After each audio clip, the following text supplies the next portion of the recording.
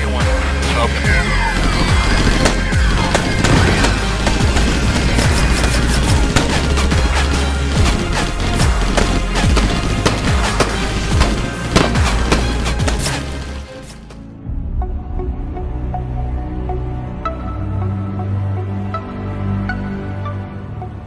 Welcome back everyone, it is me Matsimus and thank you for joining me today. We are discussing military robotics today and how really they're progressing and how the future of military robotics is going to kind of uh, pan out in the future. Now of course anything that is portrayed in this video is purely my own opinion and information that I have sourced from a public forum online, so uh, take it with a pinch of salt. And of course, I'm not a subject matter expert, so uh, just uh, you know realize the fact that I'm only putting this information out as a informative slash educational stance. So the robotic systems rolling out already in this prototype stages are far more capable, intelligent, and autonomous than the ones that we've seen in Iraq and Afghanistan. The next wave of robots that we will see deployed on land will mostly be the new and improved versions of already existing platforms. For example, iRobot's original PackBot just had a digital camera that sent back views of what the robot was seeing, making it essentially just a mobile pair of binoculars for the guys on the ground. Now, most PackBots actually perform an EOD role with the ensuing addition of a fairly simple arm and gripper that can actually defuse landmines and IEDs. But the new add-ons are developed, the same robot will take on the wider set of Battlefield roles. For example, the companies that have already tested out Packbot armed with a good old-fashioned shotgun because it's so versatile. The robot can now fire a variety of ammunition including non-lethal rubber bullets and even potentially more powerful ammunition to take on threats.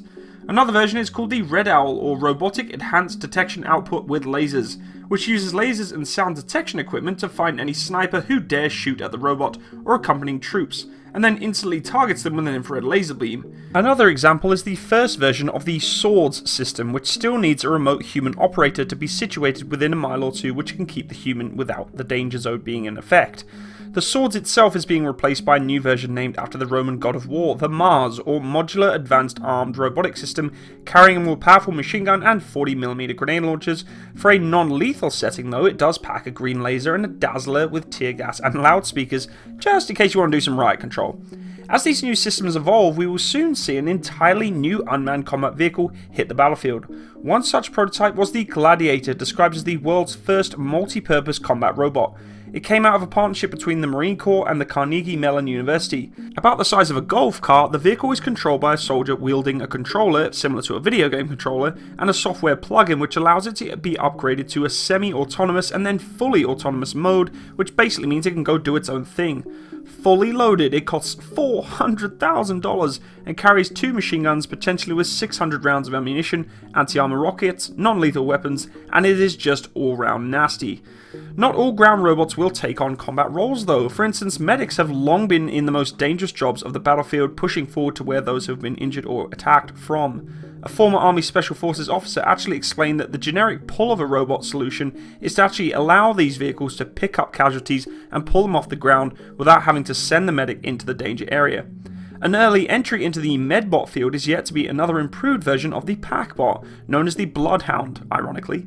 Whenever a soldier is hurt, an alert will go out to the robot and it will find the wounded soldier on its own. Once there, the robot's human controller, who might be located anywhere in the world, will check out the soldier via the video link and treat them using the robot's onboard medical payload, which will include a stethoscope, very likely quite cold, and uh, liquid bandages, automatic syringes, dispensers of morphine and medicines, etc., etc., which is pretty darn impressive. Of course, robots will have a hard time replacing the compassion of a real life medic, though. As one Special Forces soldier has said, the last thing they really want to see is a robot coming for them if they're about to die. They'd much rather see a human, and I can totally understand that. Of course, drone technology is huge. There is a huge next generation coming out of UAVs or unmanned aerial vehicles or systems, and will be a mix of upgraded current systems with converted vehicles that are flying by people. Now, this is scary stuff because it really does mean autonomous fighter jets or autonomous bombers or autonomous reconnaissance vehicles, but that is something that I think we've always kind of had in the background and we see as potentially an option for militaries around the world. At the extreme end of the scale, a host of robotics are actually being miniaturized. For instance, the US Air Force lab researchers have built a rocket engine that fits on the tip of a pencil. Some believe that microsystems could eventually go down to the nano scale, that is the molecular level, which basically allows for robots to be turned into almost microorganisms that can fly long, long distances but be barely ever even seen, Um, we're talking about 78 atoms in size, you know, chemically powered nanomotors, all this kind of insane technology that could come out. Tiny engines allow tiny machines, and tiny machines mean teeny tiny robots or nanobots that can be very good at doing reconnaissance, or worse. You know, we're talking about things that can actually attack people in, in swarms, and a lot of you have been talking about on my channel, hey Matsimus, talk about robots and, you know, the ability of robots to swarm and drone swarms and all that sort of stuff.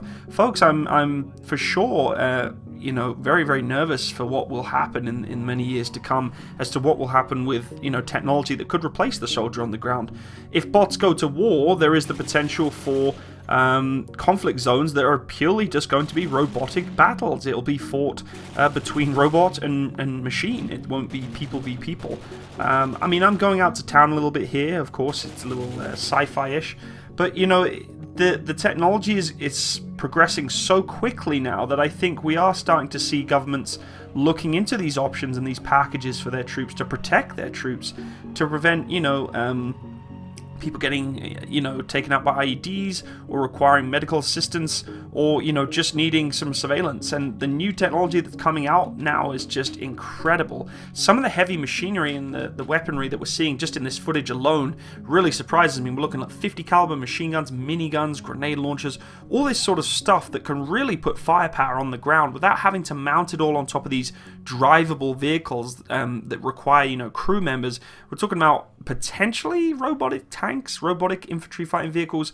Uh, now, understandably, um, robots are going to finally getting to the point where we can use them onto the battlefield effectively. I think we're still in that trial and testing phase where, you know, certain applications aren't quite ready yet. It seems as though we're seeing more and more of it being showcased around the world though in terms of its capabilities. It is interesting to know that in the future, do you think that we're going to have you know, robot v robot battlefield and conflict zones where, you know, boots on the ground aren't even there. There is no human versus human interaction in terms of combat. I don't think it's ever going to happen in our lifetime. I think I've got a little bit sci-fi with you here. But it is something to think about. It's something that, you know, could be in the potential options for many, many, many years down the line. No one ever wants war, of course. I particularly don't.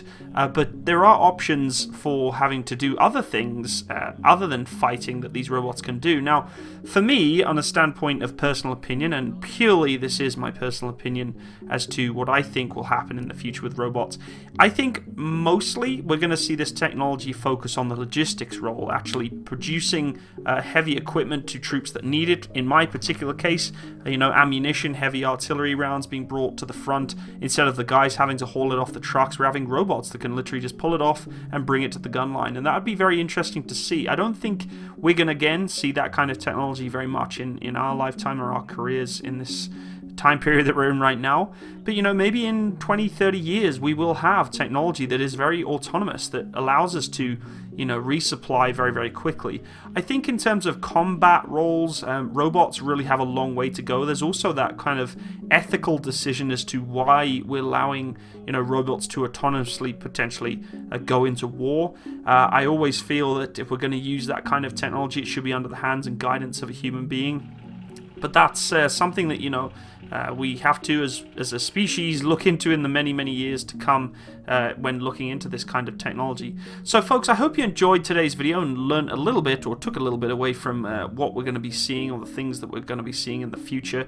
I'd love to hear your opinion on it also. Um, of course, my opinion is purely just my own. I'm taking information that I have found online and kind of just putting a, a kind of a thought to it. It's informative and educational thought. It is not a biased opinion to say something is good or bad or not. Uh, but it is just a very interesting topic that I thought I'd just discuss. And, you know, let's hope the future will bring positivity, this kind of technology in the future. So, anyway, folks, uh, if you want to support my channel, leave me a uh, like in this video and a comment. And also go check out my Patreon account, which is on the link box below in this video. All the best, have a wonderful day, and bye-bye.